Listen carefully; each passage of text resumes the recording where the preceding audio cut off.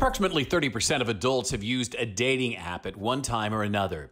A new study finds that social anxiety and depression lead to a greater use of dating apps and affect what people hope to gain from them. People use dating apps for a variety of reasons, including companionship, self worth, trendiness, and of course, seeking love.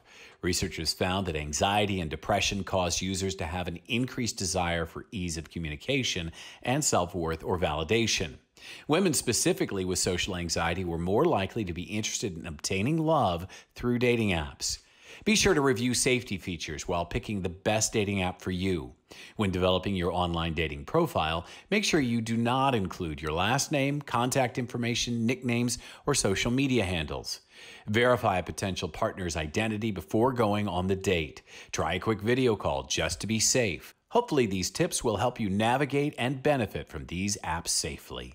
And that's a quick tip from Treepple Health News.